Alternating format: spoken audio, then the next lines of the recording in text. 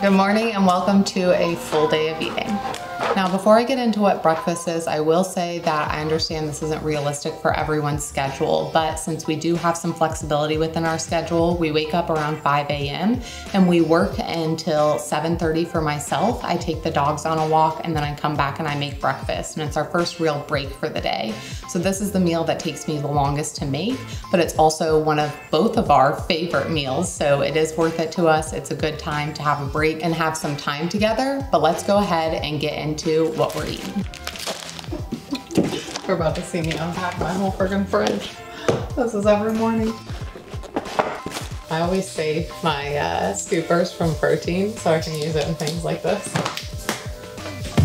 I am having my favorite green banana pancakes. These have been a staple in my breakfast for over two years and I have not gotten tired of them. I bet Alex is gonna be appalled that I'm wearing this shirt on camera. These pancakes are made with some really solid ingredients like frozen bananas, frozen spinach, oats, and of course my favorite cinnamon cereal Legion protein. Alex normally has a burrito or a quesadilla, but we recently switched to making tacos. So with the quesadilla, we had to have more cheese to make it stick together, but being able to move to tacos, we were able to lower the amount of cheese and lower the fat content, making it a meal that fits into his routine and his macros a lot better while still being something he really enjoys. Making the bacon first is integral because it allows you to have the bacon grease for the hash browns, which just elevates the experience altogether. Even so much for myself that now I track extra bacon and hash browns so I can have a serving while I'm making his. The taco consists of grilled chicken, bell peppers, center cut bacon, eggs, egg whites, hash browns, some reduced fat Mexican shredded cheese, and of course some sort of hot sauce.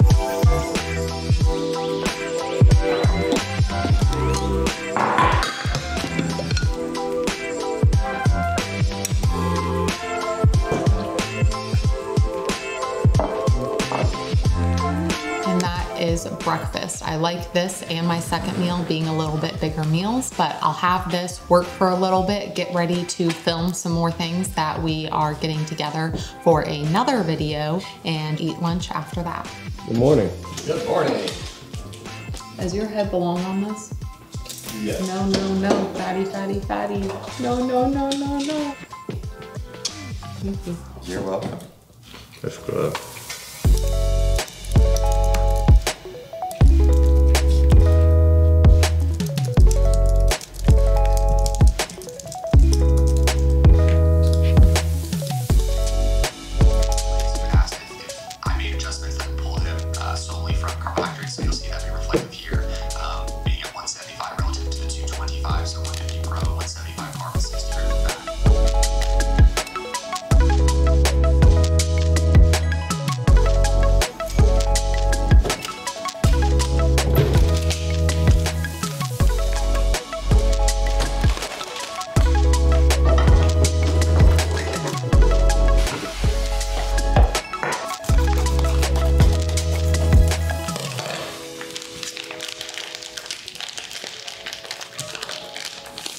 Breakfast is definitely the most time intensive and the rest of the meals look like this where I'm just cutting them open and dumping them into a pan, which is exactly what we need for how crazy our lifestyle is. For lunch, I'm eating a meal that, just like breakfast, I've eaten for about two years nonstop and still loving it. It's super simple with some jasmine rice, ground 99% lean turkey, and spinach. I also season it with turmeric and Lawry's. The great thing about meals like this is they are extremely adjustable as your macros change going through dieting, where I can change the amount of turkey or the amount of rice and even what I'm topping it or eating it with, because you'll also see that I eat it with some chips on the side, which is just a very special thing for me because I love tortilla chips and a rice cake with peanut butter and fiber. And when we look at the breakdown of this meal, it's a great amount of protein, a solid amount of carbs, and a solid amount of fats to make sure that I can feel full and satiated as I go through the rest of my workday.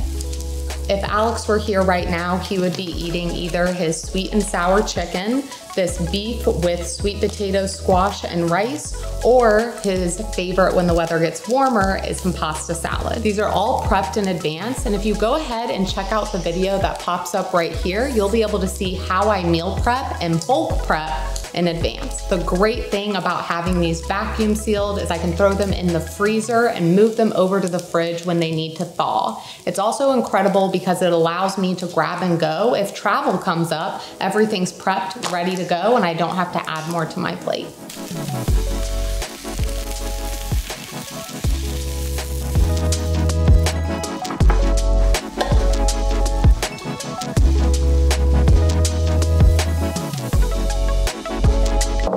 The words that almost came out of my mouth were I'm doing everything but sleep why aren't things progressing? It's the cornerstone of seeing fat loss. Oftentimes people get so caught up in just doing the physical things. I'm getting my nutrition in, I'm doing all my training, I'm doing all my cardio. That's all that matters. Whereas if you don't have the sleep, really, like you said, none of that matters. If if anyone who's following along is doing this with their significant other and and you're in the position that we are also in in the sense that I have more body fat to lose than you, it's also challenging where we're doing the same thing and I'm having more scale progress progress. It's not because you're doing anything wrong. It's just that I have more body fat to lose. Thus, things are going to move a little bit more quickly. It's just that our bodies are different. And there is a lot to be celebrated within that, even if there can be some frustrations along the way.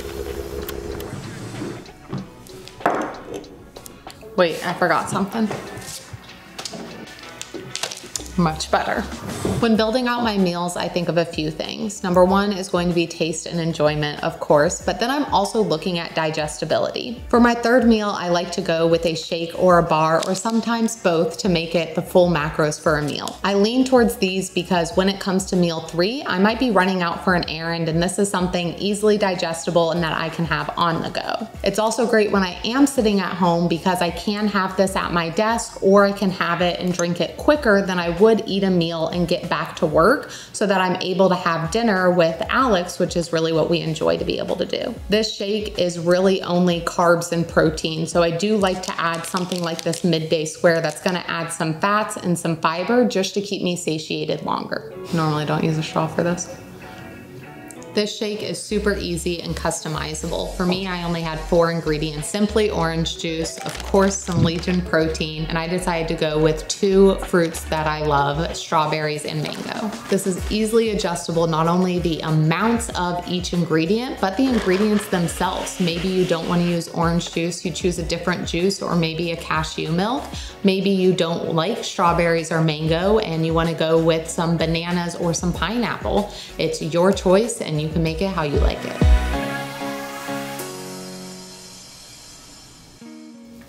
Now, I'm not having the same exact meal I had for breakfast, but we're about to head out of town and I wanted to have some food prepped for while I am out of town. Since we are about to hit the road, I wanna make sure that the meal makes sense to eat in the car. So normally I would be having a rice meal with some sort of protein, but in this case, I'm actually just gonna have a Nash bar and some carbs.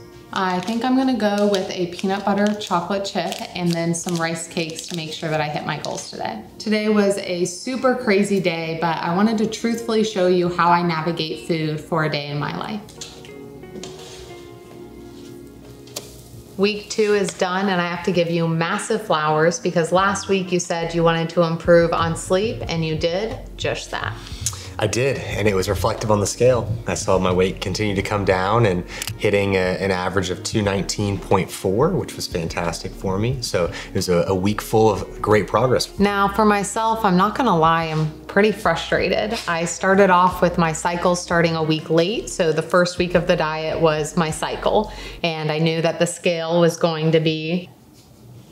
I had a good few days and I got hit with a stomach bug And it was just so discouraging to feel like I was checking so many of the boxes and not seeing the progress. And I think people get into this when they first start dieting and maybe they have a few things out of their control come up, like a menstrual cycle or getting sick, and they immediately want to lower their food or increase activity so that they see that reflected in the scale. And I'm really thankful that I have you for an unbiased look, but also that I know that I just need to keep doing the right things and controlling the controllables so that I can have the response that I want here. That's a big reason why I didn't change things. Now, I, because I've had such great sleep, have been feeling amazing and my training has been going exceptionally well. I'm feeling well recovered from my training, but I won't lie. I've been experiencing a little bit of greater fatigue with my steps being as consistent as they have been, as well as going to yoga.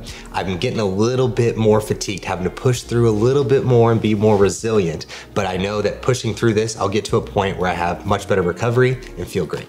My training has felt really solid, but because of the stomach bug, I was experiencing some really bad fatigue from Friday to Sunday. So I'm glad that I took time to rest a little bit, not hit my steps some of those days, doctor's orders, and make sure that I was able to recover. So going into this next week, I'm able to see the progress I want. Did you guys get that? I'm the doctor. In episode one, I talked about making adjustments to nutrition, training, or cardio every two or three weeks. We're at the conclusion of week two, and I'm not going to make adjustments just yet. I wanna get another week of data points, especially with Sue having her menstrual cycle as well as getting the stomach bug. We don't have 100% accurate data to really go off of to make adjustments, and so we're gonna have one more week. She's not gonna get a stomach bug. She's not going to have her menstrual cycle. She's gonna have a super successful week, and then we may make some adjustments. That being said, we won't have an inside the diet this week. Now, in the previous video, I showed you guys comparisons of the physique photos and I drew circles around the areas that we were seeing changes. Did you guys enjoy that? Leave me a comment below and let me know. Of the non-negotiables that we have in place, what was a highlight for you this past week? I was very happy that I stuck with my chores. This is the one when we first started this that I thought I was going to fumble the bag on and we're two weeks in, still got it. What about you? I would say just how I managed my steps. I saw that I was overshooting and I was able to make a better plan going into this next week uh, just to make sure I hit exactly what I needed to. That's a wrap on week two. If you guys have any questions throughout this whole series or any ideas or topics you'd like us to cover, then make sure that you leave a comment down below. But otherwise, we'll see you in the next one.